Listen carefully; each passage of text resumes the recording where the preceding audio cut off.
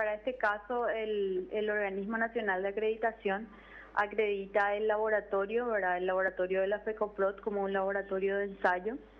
Eh, a los ensayos, a los alcances solicitados por la federación y con este, de esta forma el laboratorio con esta acreditación puede mostrar todo lo que es competencia técnica y aseguramiento de calidad de análisis y confiabilidad de resultados.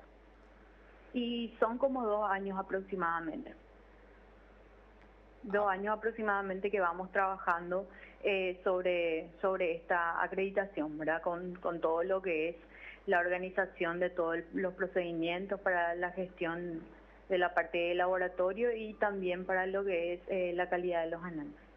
La verdad es un, eh, para nosotros es un, era un objetivo y ahora es un, un gran logro, era una meta que teníamos fijada ya para, para el transcurso ya entre el año pasado y este año, que al fin pudimos obtener, ¿verdad? Todos estamos acá eh, muy contentos y la idea es seguir, seguir acreditando cada vez más alcances, ¿verdad?